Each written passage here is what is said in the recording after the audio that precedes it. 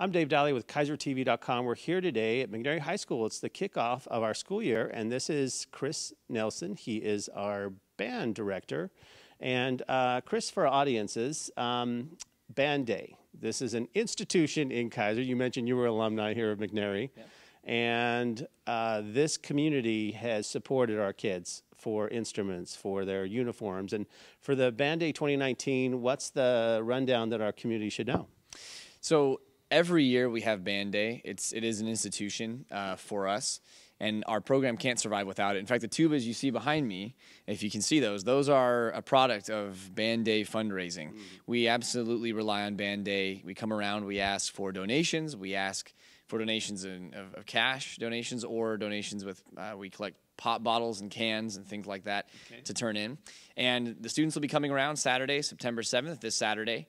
Uh, they'll be in their band uniforms. They'll be knocking on doors, and uh, we we just ask that you be generous and support those students and, and give them donations, and we can then turn around and take that and and put instruments in kids' hands and put a band program that Keizer's proud of in front of uh, football audiences, marching band competition audiences, all the way to the state uh, championships uh, in May. It sustains us through the whole year, so it's wow. very important. And you know, you go to any game and they are in the stands, adding to the experience. There's so many uh, ways we're all connected to this band. They march in the Iris Festival Parade. And so, uh, Chris, thanks for talking with us and help us get the word out about Band Day. Share this uh, video and uh, Chris, last question: If someone just watched this video and wanted to send funds, because the students can't cover a town of forty thousand in a Saturday, how can they make a donation? So they can visit McNaryHSBand.org which is uh, our band website, and our, it's run by our band Boosters, which is a 501c3.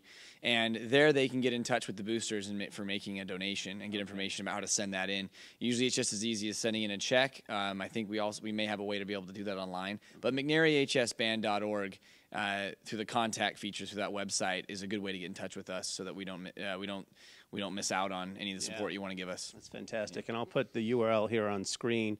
Uh, Chris, thanks for talking with us. And uh, Keizer community, you have many band alumni. You're now in middle aged, and you knew how important those band experiences were. So please don't forget to donate and support our kids this year of the 2019 school year. So thanks for talking with us, Chris. And uh, I'm Dave Daly with KeizerTV.com. Thank you.